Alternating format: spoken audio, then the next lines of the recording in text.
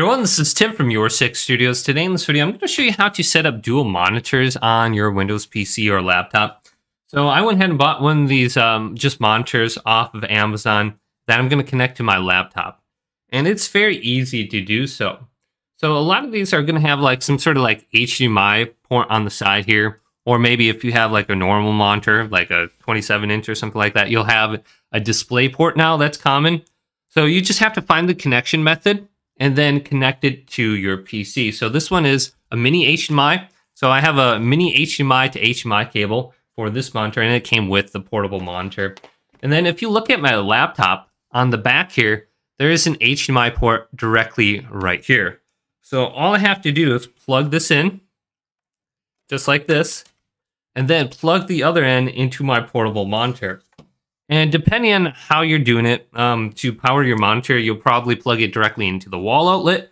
Otherwise, there's going to be like a little USB-C to USB-C that you can plug into your laptop for power too. And then you just plug it in right here. And then it's going to be connected to your PC. So on my PC right now, I have three uh, monitors. So I got one, two, and three. And I'll show you how that looks in the settings. So let's go to my desktop now. And when you're on the desktop, just right click and open this up. And we can go on down to where it says display settings. And when we're under display settings, uh, we should see the monitor pop up. Just go to identify and you can see one, two, and three. So if I go to um, maybe my first monitor and I hit identify now, uh, you should be able to see this giant two on it. So let's see if it pops up on the screen. So I know that it's monitor two right there. So I can go back here. So I can rearrange these now to just get them in order. So I know monitor number one is in the middle. Otherwise, uh, when you try to scroll to the side right here, it's going to go to the wrong way. You know what I mean? So if you're going from this screen to my next screen, you want it side by side. So it's a fluid motion right over to the screen and it's not going the opposite way. Now you do have options where you can like um, you can drag this monitor above, just like this. Maybe you want it above, maybe you want it below, maybe you want it half on the side or something like that. Now, once you have this set up the way you want, hit apply, and then it should be applied. Now, if you look at these different options, you have to decide what you want to do for your main monitor. Uh, so you can uh, extend the displays, which is probably what you want to do. So you can just go from one monitor to the next seamless. You can duplicate the desktop on display 1 and 2, or duplicate on 1 and 3, or you can disconnect the display. So just go on down to extend the display, that's probably what you want to do. And once you have it set up, some of the resolutions might not be correct. So you can see 1 and 2 are, I think these are 4K monitors. I can just scroll on down. I can look under here real quick. I think if I go to advanced options, it will tell me. So I can see they're 4K right here. And then I can also change the refresh rate too. So if you got like a 44, 144 hertz monitor, you can try upping that right here. And some of these you might have to lower the resolution to get 144 hertz.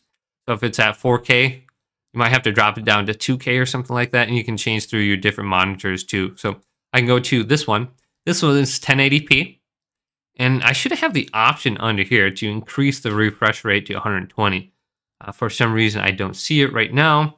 I'll have to look at that later on. So we can go back to my display now. And uh, if our dis, uh, if our screen scaling is off, like uh, on monitor one and two and three, and not everything is going to align correctly, you'll have to change the scaling uh, per uh, individual monitor you go to based off of your resolution size. So with that, we can uh, change the scaling. So you can see this one is 100%. And this is going to change your UI and all the different icons and your text.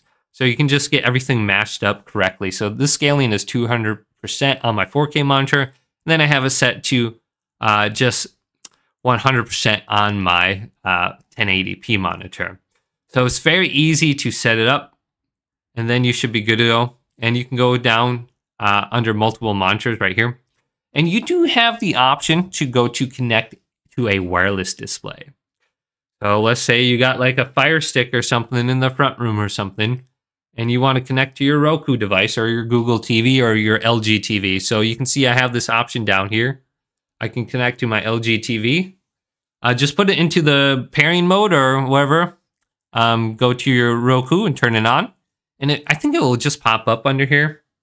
On your Fire Stick, you have to uh, specifically put it into the uh, the pairing mode or the screen mirroring mode. And then you should be able to pair it on over to your TV using your router. So very easy to do. Hopefully this video did indeed help you out. If did, leave it a big thumbs up and subscribe to your channel. Subscribe my channel down below.